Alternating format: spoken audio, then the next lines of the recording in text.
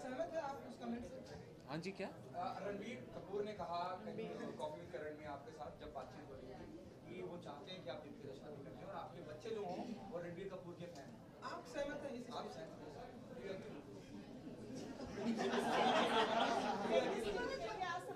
Oh sorry it was a joke. अच्छा। Sorry मैं confuse हो गया कि इसका क्या लेना देना था बेफिक्र।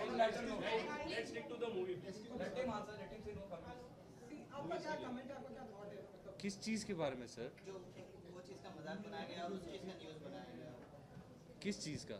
जो आपने रणवीर कपूर ने जो कहा था क्या कहा था? फिर से दोहराइए। फिर से दोहराइए। हाँ हाँ। आपको दीपिका पादुकोण से शादी करनी हाँ चाहिए और आपके बच्चे मेरे coffee with Karan time pass show है, उस पर बहुत बकवास बातें होती है, उसको सीरियसली नहीं लेना चाहिए जितना कि आप ले रहे हैं।